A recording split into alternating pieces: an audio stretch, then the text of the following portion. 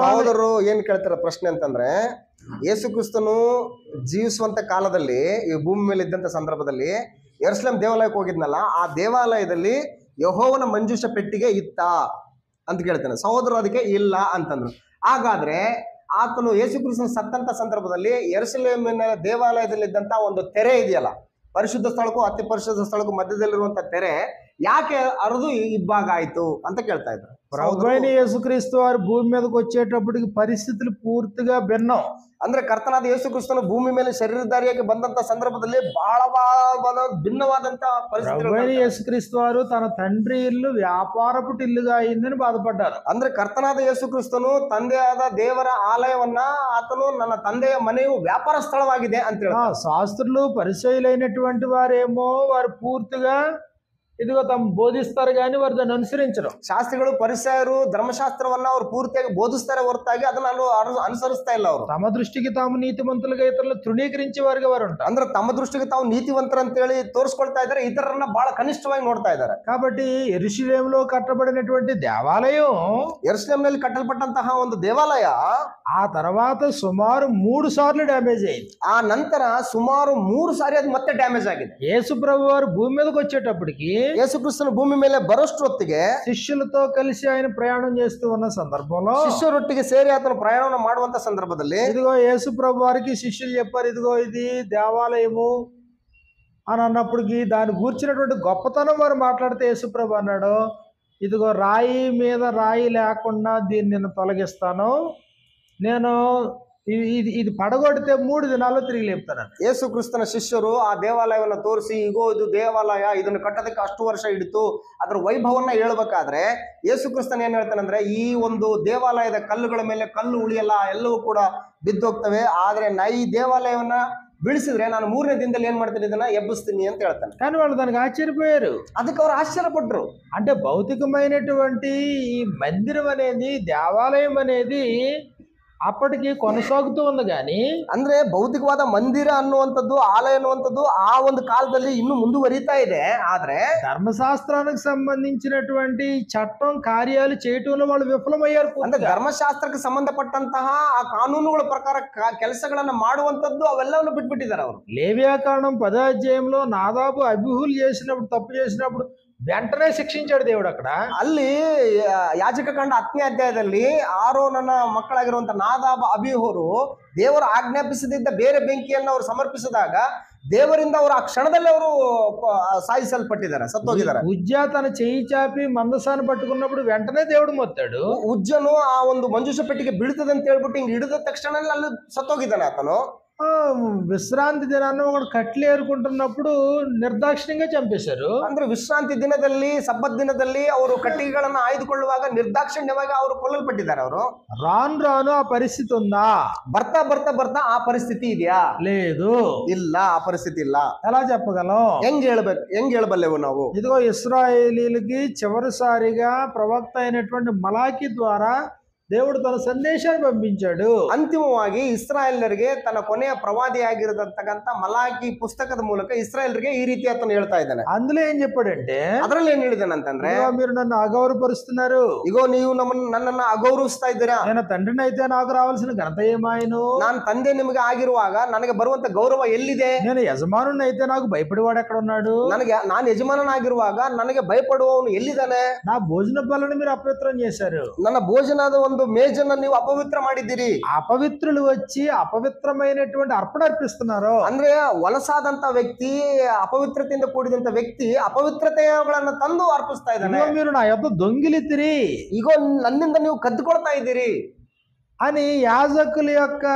నీచమైన స్థితిని స్పష్టంగా చెప్పాడు ಯಾಜಕರು ಒಂದು ನೀಚವಾದಂತಹ ಕೃತ್ಯಗಳನ್ನ ಬಹಳ ಸ್ಪಷ್ಟವಾಗಿ ತೋರ್ಪಡಿಸ್ತಾ ಇದ್ದಾನೆ ಅಲ್ಲಿ అలాంటి అపవిత్రమైనటువంటి పరిస్థితుల్లో కూడా దేవుడు వారికి ఉన్నాడా ಅಂತ ಅಪವಿತ್ರವಾದಂತ ಸ್ಥಿತಿಯಲ್ಲಿ ಕೂಡ ದೇವರವ್ರ ಜೊತೆಗಿರ್ತಾನ దేవుని యొక్క ప్రసన్నత ఉందా ದೇವರ ಪ್ರಸನ್ನತೆ ಅಲ್ಲಿರುತ್ತಾ లేదు ಇರಲ್ಲ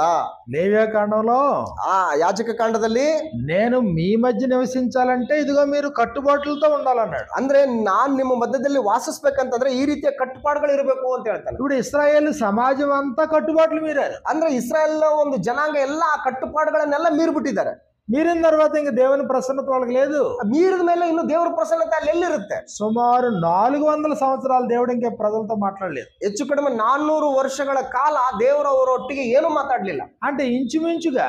ಇಂಚುಮಿಂಚು యేసు ప్రభు భూమి మీదకి వచ్చేటప్పటికి ಯೇಸುಕ್ರಿಸ್ತರು ಭೂಮಿಗೆ ಬರುವಷ್ಟು ಕಾಲಕ್ಕೆ నీతిమంతుడు లేడు ఒక్కడైనడు లేడు ನೀತಿವಂತನೂ ಇಲ್ಲ ಒಬ್ಬನಾದ್ರೂ ಇಲ್ಲ అందరూ చెడిపోయి ఏకంగా పనికి వారే ಎಲ್ಲರೂ ದಾರಿ ತಪ್ಪಿ ಕೆಟ್ಟು ಹೋಗಿದ್ದಾರೆ ಕೆಲ್ಸಕ್ಕೆ ಬರ್ಲಾರ್ದವರಾಗಿದ್ದಾರೆ దేవుని గురించిన సత్యం తెలియదు ప్రభుని గురించిన సత్యం తెలియదు ದೇವರನ್ನ ಕುರಿತು ಸತ್ಯ ಗೊತ್ತಿಲ್ಲ ಕರ್ತನಾದ ಯೇಸು ಕ್ರಿಸ್ತನ ಕುರಿತು ಸತ್ಯ ಗೊತ್ತಿಲ್ಲ ప్రభు అని యేసు ఈ భూమిని చూసేటప్పుడు అంతా కూడా శవాల శవాల దెబ్బగా ఉంది ಅಂದ್ರೆ ಯೇಸು ಕ್ರಿಸ್ತನ ಈ ಭೂಮಿ ಮೇಲೆ ನೋಡಿದ್ರೆ ಈ ಭೂಮಿ ಮೇಲೆ ಎಲ್ಲ ಶವಗಳಿದಾವೆ ಶವಗಳು అందరూ చచ్చిన వారే ಎಲ್ಲರೂ ಕೂಡ ಸತ್ತೋಗಿದ್ದಾರೆ అపరాధముల చేత పాపముల చేత చచ్చిన వారే ಅಪರಾಧಗಳಿಂದಲೂ ಪಾಪಗಳಿಂದಲೂ ಎಲ್ಲರೂ ಸತ್ತೋಗ್ಬಿಟ್ಟಿದ್ದಾರೆ అప్పుడు యాక్టివిటీస్ ఉన్నాయా ಆಕ್ಟಿವಿಟೀಸ್ ಇದಾವ లేవు ಇಲ್ಲ తండ్రి ఇల్లు ఎలా ఉంది ತಂದೆ ಮನೆ ಹೇಗಿದೆ వ్యాపారటిల్లుగా ఉంది ಅದು ವ್ಯಾಪಾರದ ಸ್ಥಳವಾಗಿ ಮಾರ್ಪಟ್ಟಿದೆ ఏదో మొక్కుబడికి సంవత్సరానికి మూడు సార్లు వస్తున్నారు ಏನೋ ಒಂದು ಆ ಒಂದು ಕಾಟಾಚಾರಕ್ಕೋಸ್ಕರ ವರ್ಷಕ್ಕೆ ಮೂರು ಸಾರಿ ಬಂದು ಹೋಗ್ತಾ ಇದ್ದಾರೆ కాబట్టి మూడు సార్లు పురుషులు వస్తున్నారు వచ్చి వాళ్ళ కృత్యాలు జరిగిస్తున్నారు ಮೂರು ಸಾರಿ ಪುರುಷರು ಬರ್ತಾ ಇದ್ರೆ ಅವ್ರ ಕೆಲಸ ಕಾರ್ಯಕ್ರಮಗಳನ್ನ ಮಾಡ್ಕೊಂಡು ಹೋಗ್ತಾ ಇದ್ದಾರೆ అవైనా వేషధారణతో కూడిన చర్యలే తప్ప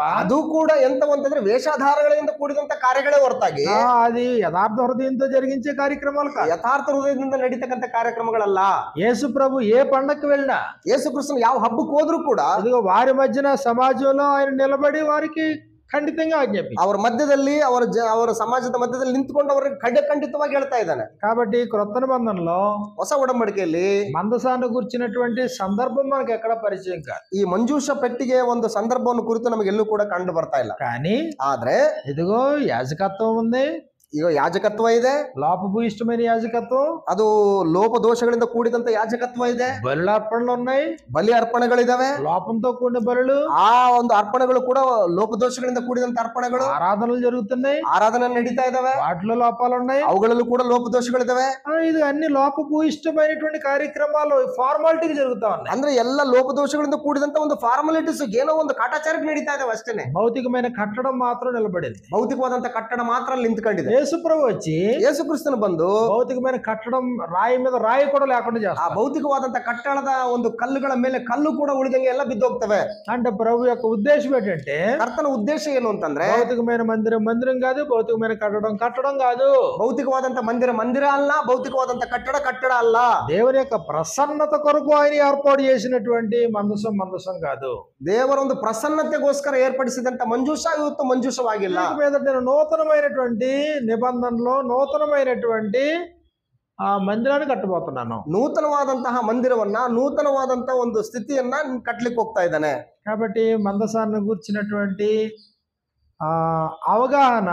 క్రొత్త నిబంధనలో మనకు కనబడదు ಮಂಜೂಷದ నాకు తెలిసినంత వరకు ನನ್- ನನಗೆ ಗೊತ್ತಿರೋ ಮಟ್ಟಿಗೆ ಮಂಜೂಷದ ವಿಷಯವಾದಂತ ಒಂದು ತಿಳುವಳಿಕೆ ಸತ್ಯವೇದದಲ್ಲಿ ಕಂಡು ಬರ್ತಾ ಇಲ್ಲ ಹೊಸ ಒಡಂಬಡಿಕೆಯಲ್ಲಿ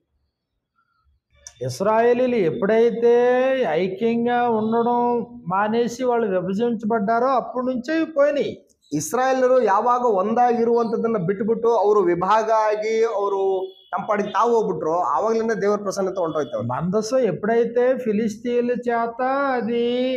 కొనుక్కోబడిందో అప్పుడే ప్రభావం కోల్పోయారు ಅಂದ್ರೆ ಯಾವಾಗ ಮಂಜೂಷ ಪೆಟ್ಟಿಗೆ ಫಿಲಿಸ್ಟಿಯರು ತಗೊಂಡೋದ್ರು ಆವಾಗ್ಲೇ ಅದ್ರ ಪ್ರಭಾವ ಹೊಂಟೋಯ್ತದ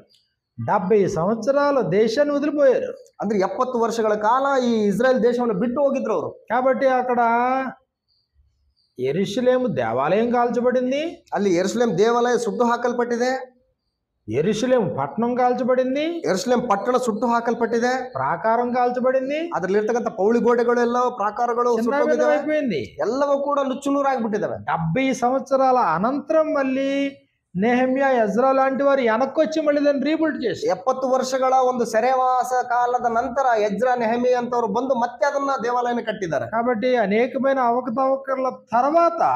ಎಷ್ಟೋ ಮೇಲು ಕೇಳುಗಳ ನಂತರ ఇదిగో వీరు భక్తిహీనత తారాస్థాయికి వెళ్ళింది ಇವರ ಒಂದು ಭಕ್ತಿಹೀನತೆ ಅನ್ನುವಂಥದ್ದು ಬಹಳ ಮೇಲ್ತರ ಕೊಂಡೋಯ್ತು ಅದು. కాలం పరిపూర్ణమైనప్పుడు ఆ దేవుడు తన కుమారుని పంపాడు ಕಾಲ ಪರಿಪೂರ್ಣ ಆದಾಗ ದೇವರು ತನ್ನ ಮಗನನ್ನ ಇಲ್ಲಿ ಕಳಿಸ್ಕೊಂಡ అంటే పాపం పండినప్పుడు పంపాడు ಅಂದ್ರೆ ಪಾಪ ಒಂದು ತುಂಬಿದ ಮೇಲೆ ಪಾಪದ- నీతిమంతుడు లేడు ఒక్కడైన లేడు అన్న సందర్భంలో పంపాడు ఆయన ನೀತಿವಂತನು ಇಲ್ಲ ಒಬ್ಬನಾದ್ರೂ ಇಲ್ಲ ಅನ್ನುವಂತ ಒಂದು ಸಂದರ್ಭ ಬಂದಾಗ ದೇವರು ತನ್ನ ಮಗನನ್ನ ಕಳಿಸ್ಕೊಟ್ಟಿದ್ದಾನೆ ಅದೇ. ಹೌದು.